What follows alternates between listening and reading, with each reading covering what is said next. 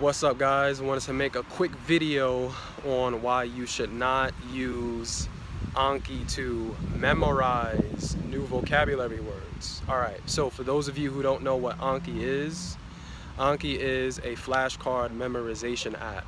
Specifically, Anki leverages what's called an SRS, which is a spaced repetition system, which is just a fancy way of saying you'll efficiently memorize vocabulary words based on the familiarity you have with them. So the less familiar you are with the word, the more you'll have to uh, work with that word and memorize it versus the more familiar you are with the word, the less time you have to spend on it. So it's just about utilizing your time efficiently for memorizing new words. So here's the thing, as good as it might sound, and I've used Anki myself, you know, you will not be able to learn new vocabulary words because you're not interacting with these words in context.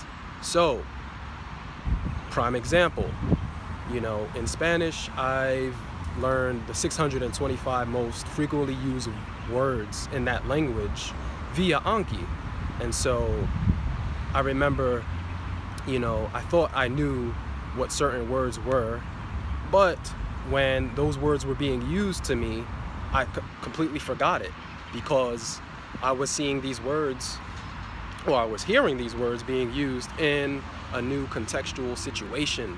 So I didn't associate, you know, the sound of the word and, and, and, and the way in which the word was used. I just saw a text within Anki and thought that okay well since I you know I seen this word three times and I, I memorized what it was I know that word.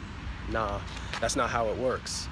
You acquire new vocabulary in context whether that's watching your favorite television show in your target language or you're listening to music um, from your favorite artist and you're hearing those words or you're speaking with natives and you're hearing the way that they're using a particular word in a phrase these are all contextual situations with which allow you to pick up vocabulary. That's why you get some people who can, um, you know, they can just uh, go and watch uh, movies and television shows in a language that they really like and because they're watching this film and they're seeing the way people are interacting the gestures they're making using specific words they relate those bodily um, movements to specific words and it has a stronger uh, ability for them. It resonates in their brain stronger because they're seeing the word being used in a powerful context.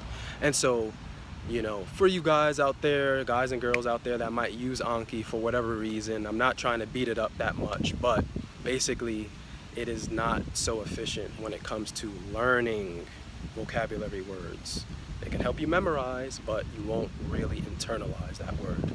Drop your comments. Let me know what you think. Um, have you used Anki before? Was it successful for you? Was it not successful to, for you? Let me know. Take care, guys.